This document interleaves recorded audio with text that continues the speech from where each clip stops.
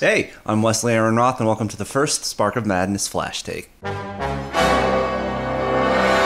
Overlord was directed by Julius Avery and written by Mark L. Smith and Billy Ray.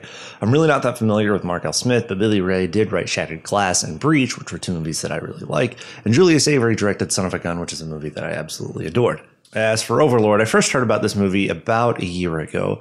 I read that it was going to be the next chapter in the Cloverfield universe. Now, somebody who loved the original and absolutely adored 10 Cloverfield Lane, uh, I was really let down by the Cloverfield paradox. You can check our video in the channel to see. So I hope that this would be a righting of the ship kind of a return to form. And with talent like this that they had on board, I had a lot of confidence in the project. Now, fast forward to March at CinemaCon, J.J. Abrams, who did produce this movie, uh, made it clear that this was not going to be a part of the Cloverfield franchise, that this was an entirely standalone film. The story follows a unit of American paratroopers on the eve of D Day. They're tasked with bringing down a radio control tower that's located inside of a church in a small village outside of Normandy. Their transport is shot down and they regroup. They encounter a woman, her younger brother, and their ailing aunt. After a confrontation with a Nazi officer, they learn that something frightening is going on inside of the church. Now, the very first thing that I want to highlight in this movie are the performances.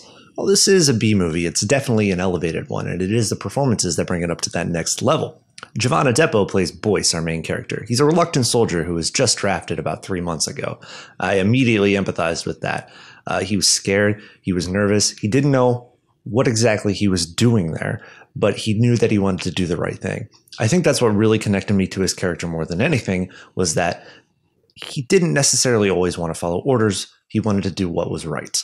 Wyatt Russell, son of Kurt Russell, plays an explosives expert that is heading up the operation. Now, much like I said with John David Washington for Black Klansman, Wyatt Russell absolutely has the X factor that made his father famous. There are moments in this movie where you're not entirely sure that you are not watching a young Kurt Russell. Pilou Asbæk from Game of Thrones uh, sort of plays your typical Nazi villain role here, uh, save for some very impressive practical effects.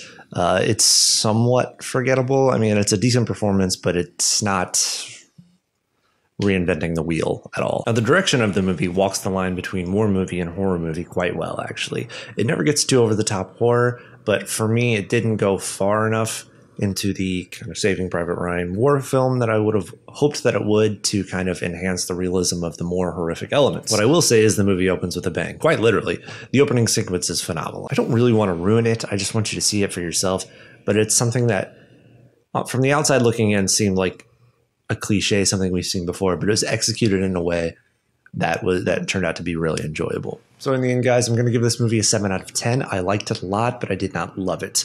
While I could see myself buying it on Blu-ray to show it to friends, I don't really think that I could ever see myself just sitting down to watch it by myself again. At least quite rarely. Anyway, thank you guys for checking out the very first Spark of Madness Flash Take. This is something we're doing for movies that we don't necessarily want to do an entire podcast on. Now, you're not always going to be seeing me here, and we're going to be changing up the format a little bit, seeing what works and seeing what doesn't. Also, this Wednesday, November 14th, the guys are back, and they're talking about a John Hughes classic, Planes, Trains, and Automobiles. We hope you join us, and once again, thank you. We'll see you next time.